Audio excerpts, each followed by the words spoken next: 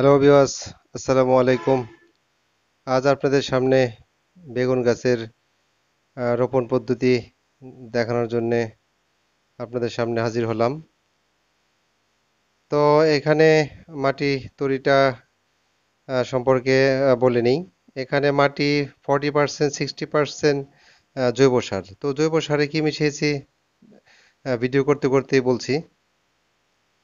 এটা টবের ড্রেনেজ ব্যবস্থা, প্রথমে ইটের সুরকি দিয়ে আটকে দেব। এরপর এখানে কিছু পরিমাণ বালি দিয়ে দেব।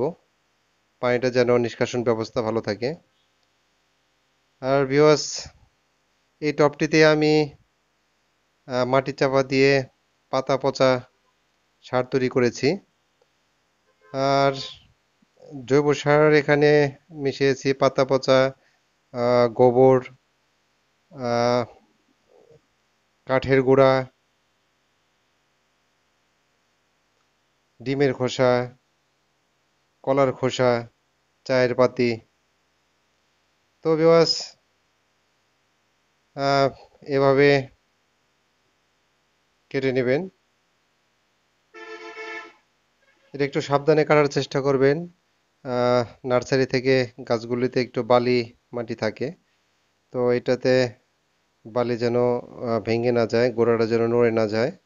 তো আস্তে আস্তে আমরা এভাবে বসিয়ে দেব। সোজা করে বসিয়ে দেব।